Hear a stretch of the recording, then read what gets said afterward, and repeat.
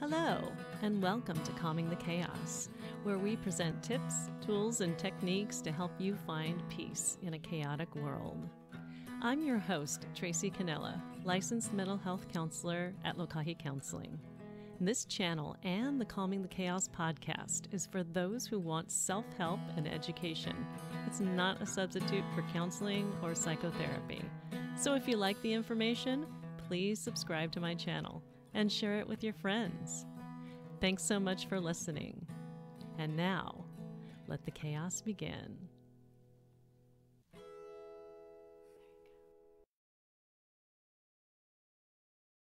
Hello, and welcome to Calming the Chaos with Tracy Kenela, licensed mental health counselor at Lokahi Counseling.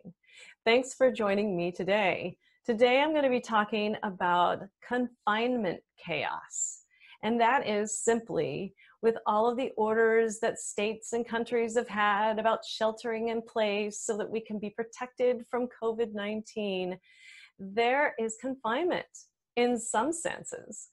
When we think of all of the businesses that have been closed, hairdressers and some restaurants, and how we are encouraged to stay in our homes and stay safe and stay healthy, we do experience a bit of confinement because of these rules that are meant to protect us. So while a lot of us are doing confinement and we're doing it the best that we can, a lot of us are experiencing confinement chaos. I do believe that this has been previously called cabin fever, when I am stuck in a little cabin with you and you and you, or just by myself, and I start to feel very confined. My mind goes just with a lot of thoughts, just very active. And I start to lash out on you, start to feel different ways, start to feel frustrated or sad and scared. So, this is what we're going to be talking about today. And what we'll focus on is the two types of people who experience confinement chaos. Now, there are two types of people in my thinking, possibly there are more, but the ones that I'm going to be talking about today are those people who, in general, like socializing with people, and those who, in general, prefer not to socialize with people. So, when we think of confinement chaos and these two groups of people, we'll start talking about those who prefer to socialize with people. Now, these folks are those who have had a history of positive interactions with people, whether it be their family, friends, caregivers, they have a positive interaction with people. And so, of course, they're going to find comfort and love, companionship. They're going to find that they like doing things with people, they like having fun, they like going out and they like the experience of having people in their energy field, which is simply like I can touch you, I can see you, you're not on a video screen, I can smell you, I can hug you. Anything that has to do with the five senses, these people really seem to prefer having that interaction with people. And so it has to do with a positive experience. And so when in confinement, there is a loss. And that loss comes because we are prohibited in some cases from interacting with the people who we really want to interact with. So, on the other hand, there are people who prefer not to be, in general, prefer not to be with people and and doing things. They prefer to stay by themselves. So these folks have a sort of confinement chaos as well. And while shelter in place actually sounds like a really cool thing to these people, they do struggle. They struggle with a couple of things. One, they struggle with their own thoughts and feelings. If they're a single person on their own, they will be left with themselves. And if they're not comfortable in their own skin or with their own bodies or with their own thoughts and feelings, they may feel discomfort. And two, they may be confined with people who they don't like or people who do not like them. So these folks have generally had experiences that are not so positive, perhaps even abusive or neglectful. And they are in confinement faced with people that they may not be comfortable with. And so it could be awkward, it could be weird, it could be awkward, which is my new favorite word. And the energy it takes these folks to be in confinement with people that they may not get along with is so overwhelming that they struggle with the chaos of overwhelm as opposed to the folks over here who are struggling with the chaos of loss.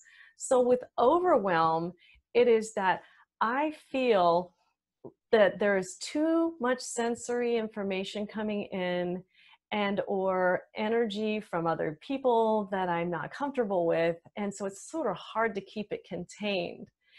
And so there's this sense of I should be a little bit happier because we're all confined, right? But then there's also some social pressures that you wouldn't expect because now we're having more online meetings or Facebook Lives or these things where you can join a live webinar. And what else are you going to do? So these folks might also experience some social pressures to do some things that they wouldn't normally do. And so, again, these are people who are mainly introverted and have had possibly uh, like not positive experiences with people and doing things and they are going to want to avoid and experience a feeling of overwhelm because they are with people that they don't prefer to be with or they're with their own thoughts and feelings. So let's explore some of the thoughts and feelings while we're on the subject, because you know, thoughts and feelings really do matter. And this is why we're here, right? We're here so that we can manage our thoughts and feelings and calm the chaos of our minds. So, in the minds of those who prefer to be with people, here are some common thought patterns that are present. Now, there may be more, but these are the common ones that I was able to think of for folks who actually really like socializing with people. So in confinement, these are the thoughts that these folks tend to have.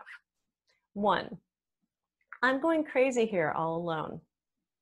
Two, anything is better than being by myself. Three, will this ever end? What if it doesn't? What if I'm always by myself? What if I never get to see my friends again? Four, I didn't get to go to prom. I didn't get to go to graduation.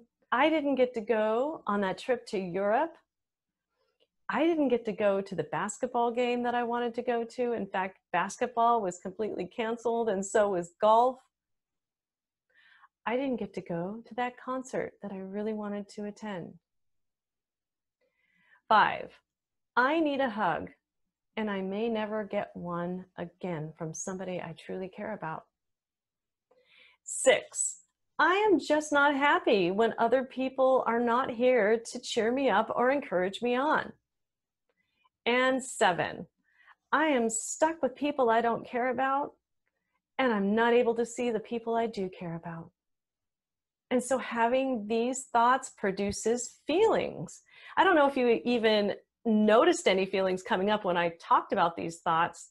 But I'm going crazy here all alone kind of sounds anxious and frantic. And being all by myself, will this never end, sounds a little fearful. And about the feeling of loss sounds very sad or depressed, forlorn, even. So when these thoughts are present, feelings are present, and chaos could be present, especially if these thoughts continue unchecked. And so, common thoughts that are present with those folks who prefer not to be with other people and really prefer to be alone, but they may be in confinement with other people who don't like them or they don't like, or they're in confinement with their own thoughts and feelings. Here are seven examples of thought patterns common with these folks. One, I'm going crazy here with all these people. Get me out of here. Two, anything is better than being with all these people. Three, will this ever end? What if it doesn't? Oh my gosh, will I be stuck here forever? Get me out of here. Four, I just need a quiet moment to gather my thoughts, and I may never ever get one because it is so noisy in here. Five, I wish people would just stay away from me and leave me alone. Six, these people are bringing me down and making me mad.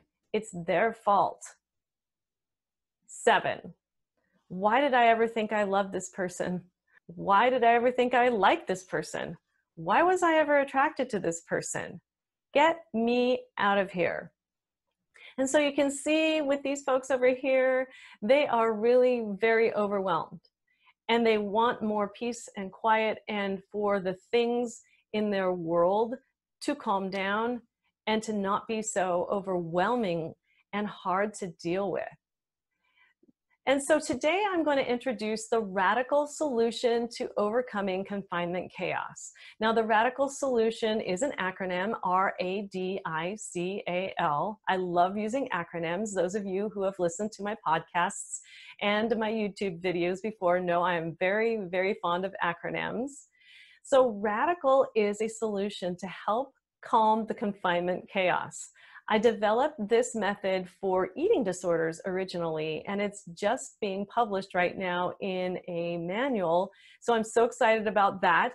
I tweaked it a little bit to to fit with calming the confinement chaos. And so I hope that you will get some benefit out of it. I'm truly very excited about it, and also the fact that it's being published in a book.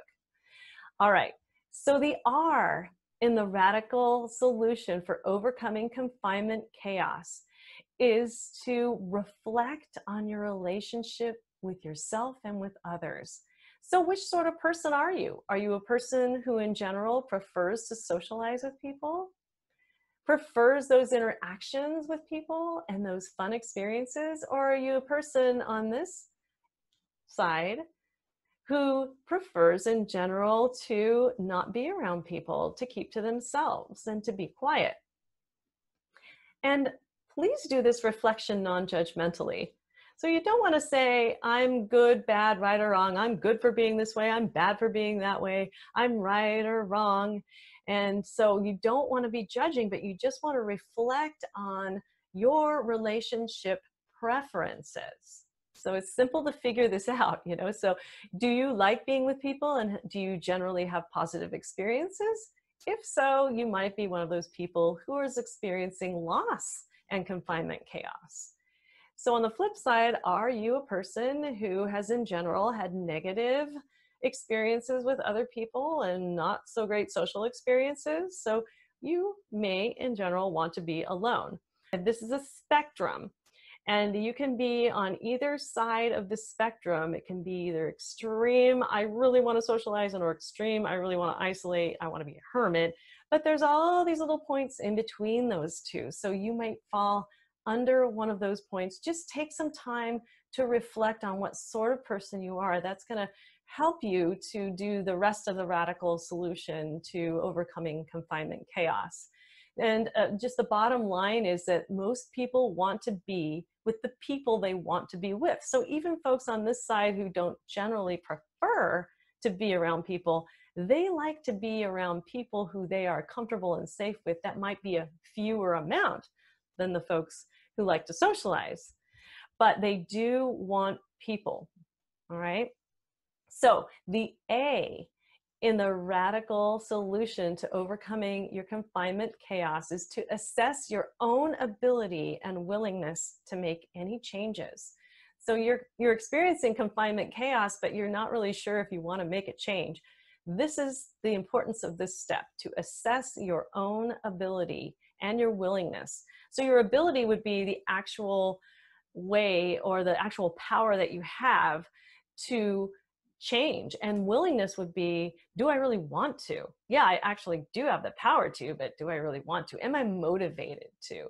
So if we're on this side uh, and we really like socializing with people and we do an assessment of ourselves we might find that yeah i really am able and willing to make changes. I want to do more reaching out over safe methods. But that is the assessment for a person who in general likes to socialize. On the other hand, those who are going to be doing an assessment if they're around people that they don't like do this assessment of whether i want to learn communication skills so that i can more peacefully exist with people or even doing a communication with yourself so that you can be more comfortable being with yourself there's so much material out there that can help you to learn and grow and and discover yourself and be more comfortable with yourself and you need to assess your ability and your willingness to make those changes the d in the radical solution to overcoming your confinement chaos is to discover and describe your emotional experiences. Now, this is where it gets into the really nitty gritty work. So, do you want to decide to change your thinking so that possibly you can change your feelings? So, after you do the assessment, you want to discover and describe your emotional experiences and decide if you'd like to make changes in your thinking. So you've already done the assessment and you have the ability and the willingness to make changes. So what you'll want to do then is discover, which is just observe and describe your emotional experiences. And so we'll go back to the thoughts because really you need to decide whether you're going to change the thoughts that will affect the way you feel. We'll go back to the thoughts the people who miss having in person contact with others. The very first thought that I mentioned is, I'm going crazy here all alone. So that thought will create a feeling of possibly panic or sadness or frustration, fear. And if you want to calm the chaos of your mind, you do need to discover what is going on in your mind and decide if you'd like to make a change in your thinking that is more truthful and helpful for you. In this example, a more truthful and helpful thought would be I'm fine. There's nothing to indicate that I'm going crazy. This is very difficult, and I feel, insert emotion here, frustrated, mad, scared, fearful. I'm not all alone. I can always reach out over the phone or over the computer or even write a letter. I'm going to be fine. So you see how changing your thinking can change the way that you feel? For those of you who were observing their feelings during what I just said, it may have been quite a bit different than when I said, I am going crazy here all alone it's not as emotionally intense when you are more truthful and helpful with yourself. And so, on the other hand, for the folks who prefer not to be with people in general, and their first thought that I mentioned of the seven thoughts is, I'm going crazy here with all these people. Get me out of here once you've done the assessment and decided that you are able and willing to make some changes, you may decide that you want to change that thought pattern to something that's more truthful and helpful as well. So you could decide that you wanted to say something like this I'm doing fine. I just prefer more quiet. I know there are quiet places. I can get to these quiet places I will not go crazy. I will survive this. I'm going to be fine. Again, observe what you feel between those two statements. I'm going crazy here with all these people. Get me out of here. Or the second statement, which is I'm going to be fine. I'm going to get through this. I'm feeling some emotions. I'm feeling some frustration and overwhelm, but I will be fine.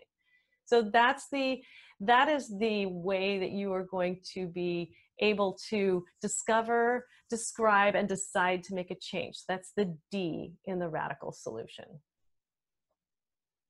The I in the radical solution to overcoming your confinement chaos is to use your intellect, that is your thinking mind, and your intuition, which is your feeling body, to be able to make a decision about what to do. I am very big on the mind body connection. So, what we think and what we feel intuitively can go hand in hand in this. So here's an example of how you would maybe do this in confinement and when you're experiencing chaos, using intellect and intuition to make choices and decisions. A simple invitation to a Zoom birthday party might trigger some of these thought processes to happen for those who really like socializing, they're like all over it and there's no real decision. They just know in their mind that that they've had positive experiences with people before and they're going to do it again. And then they know in their in their feeling body that it feels good to be able to socialize on any level. So they're going to say, yeah, I'm going to do this thing. But for the folks who don't prefer to be around people, they might have a different sort of use of intellect and intuition to make a choice whether to go to a simple Zoom birthday party. It may be that they haven't had really good experiences over the screen. And they intellectually know this because of their experiences. And then they sort of feel like, ah, this is going to be way too much for me. So using a combination of the mind and the intellect, your logical thinking mind and your intuitive knowing body to make decisions and choices that will help you calm the chaos of confinement. The C in the radical solution for overcoming your confinement chaos is to communicate your needs clearly to others and to yourself. So at minimum, do it with yourself first right? So I'm going to communicate clearly to myself what is going on with my thoughts and my feelings. And then I can decide whether or not I'm going to communicate those thoughts and feelings to others so that I might be able to enlist some help in calming my own chaos during this time. So you can do this with a simple I statement. And you, and uh, like I said, you would be better served doing this on your own with yourself first and then deciding whether you are going to be sharing that with other people who are affected. So I'm going to make up a situation right now about a fictitious brother I have. Say I'm a teenager and I have a brother and we're both in confinement and he's decided that he wants to take out our old family violin and learn how to play the violin during this confinement chaos. And he gets so obsessed with playing the violin. He is playing it for hours and hours every day. And it's affecting my concentration because I'm trying to read a book. All right, so that's the situation. A simple I feel statement or an I statement can help you clarify what's going on with you first. So if you even just wrote this down, I feel blank when blank. So I feel, insert feeling here, when blank. Insert situation there, period. Then the next sentence is, I would like blank. And so thinking really hard about what you would like to happen. So for example, in this situation, before even approaching your brother, you may just want to get clear about your feelings. I feel frustrated and overwhelmed when I hear sounds for long periods of time, period. So you notice I'm not blaming my brother, I'm just saying what is true for me. And then the second part of the sentence is I would like at least an hour break after every hour that you play your violin. So that's really specific, right? So I can decide to tell my brother this, or I can just decide oh yeah that's true for me i get it i'm going to put in earplugs i'm going to go to a quiet place or take a walk but yeah the the c is a very interesting part of the radical solution because it gives you the choice another c word about whether you're going to communicate that to other people or just to yourself and then take care of yourself. Also another word that begins with c is caveat so there is a caveat with this in that if I tell my brother, if I choose to communicate with my brother, there is a caveat though. The caveat is he may choose not to hear, and he may choose to continue playing his violin for however long he wants to without honoring my wishes. So just know that with the C, you may not always get what you want, but if you don't ask, then you'll never know, right? The A, the second A in overcoming confinement chaos using the radical solution is to allow yourself to receive assistance from others and also from yourself. Now, if you've gotten this far in the radical solution, you've already started to receive assistance from yourself because this is exactly why you're here to receive assistance. But to allow yourself to actually really receive assistance from others is very hard in that situation with my brother. Say I did approach him and I said, Look, I would like you to play your violin for an hour, but then give an hour of silence and then you can play for another hour. I just need that hour break. And he says, Hey, no problem. That's totally fine.